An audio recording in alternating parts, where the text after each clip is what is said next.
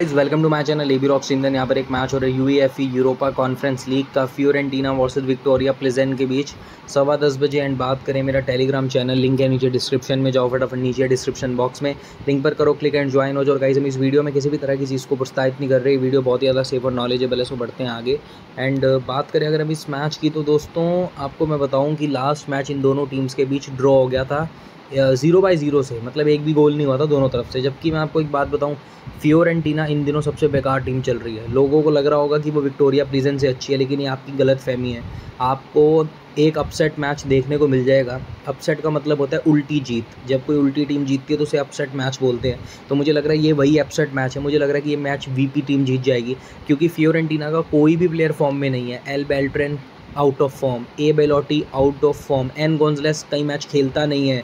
उसके बाद J Ikone ने लास्ट मैच में गोल कर दिया, जिसको कोई टीम में नहीं लेता। मतलब उल्टा चल रहा है सारा कुछ फ्योरेंटीना का। और विक्टोरिया प्लीजन एक बहुत डिसेंट टीम है। सारा कुछ एक्सपेक्टेड होता है इनके।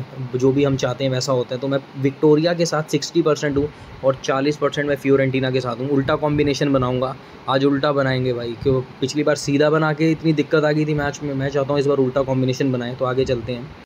तो स्ट्राइकिंग की अगर बात करें, देखो भाई स्ट्राइकिंग सेक्शन में मैं लूँगा सबसे पहले टी चोरी को। टी चोरी इज़ अ मेन प्लेयर आपको बता दूँ टॉमस चोरी लास्ट 11 अप्रैल के मैच में इस बंदे के इस बंदे ने इस टीम के अगेंस्ट खेला था। इसको येलो कार्ड मिल गया था। देखो, थोड़ा बहुत तो चलता रहता है। वो मिलता रहता है यार। विदाउट एग्रेशन भी गलती हो जाए तो मिलता है। इसलिए टी चोरी की गलती नहीं है। उसके बाद बेल्ट्रेन मैंने लिया नहीं था। मैंने बेलोटी भी ट्रस्ट करके कैप्टन रखा और इस बंदे ने मुझे क्या ही बना दिया भाई। एक भी गोल नहीं किया पूरी टीम ने और जबकि इस पर ट्रस्ट था, ये भी खाली गया। जबकि इतना बड़े लेवल का प्लेयर है, तब भी नहीं, तब भी नहीं चला है बंदा। और वाइड्रा वुड्रा से मैं क्या ही एक्सपेक्ट रखूँ जब मेन प्लेयर ही नहीं चल रहा। एंड बात करें यहाँ पर मिडफील्डिंग की तो यहाँ पर लूँगा मैं एन गॉन्जलेस एन गॉन्जलेस बॉन अगर बोनावेंतुरा खेला तो आपकी टेंशन खत्म, क्योंकि बोनावेंतुरा के खेलने से सबका कैप्टन सब लोग बोनावेंतुरा को कैप्टन रख देंगे, किसी का भी ध्यान किसी और की तरफ़ नहीं जाएगा। तो यहाँ पर मौके का फ़ायदा उठाना। सबसे पहले तो देखो, आपने पी पी सल्क को लेना है, जो मेन प्लेयर है, जिसका गोल कभी भी आ सकता है, इस मैच में भी आ सकता है। उसके बाद आपका दूसरा प्लेयर है भाई, यहाँ पर कहाँ गया? जे कॉपिक हाँ इसको लेना है, ठीक है? इन दोनों को कंफर्म करना है और जो तीसरा प्लेयर अगर आपने लेना है तो या तो आप एल कैलवेज को ले सकते हो, या भाई आप ले सकते हो जे सिकोरा को। अब आप देख लो किसके साथ जाना है, क्योंकि एल कर्व भी है हाँ एक ऑप्शन में कर्व के बारे में बताना भूल गया कर्व भी अच्छा है। तो अब आप देखो किसके साथ जाना है, मैं तो कैलवेज के साथ हूँ एंड बात करें डिफेंडिंग की।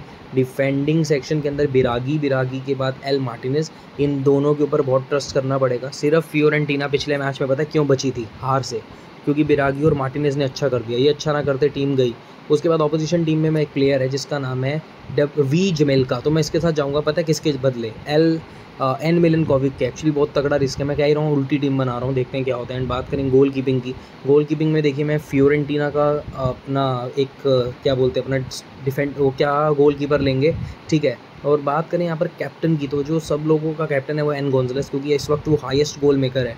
लेकिन मेरी, मेरा जो कैप्टन है दैट वॉज़ टी चोरी एंड वाइस कैप्टन है पी सल्क तो ये मेरी टीम है। हाँ हो सकता है मैं अपना वाइस कैप्टन एन गोंजलस को रख दूँ लास्ट में बट अभी के लिए मेरी ये टीम है। मिलते हैं नेक्स्ट वीडियो में। बाय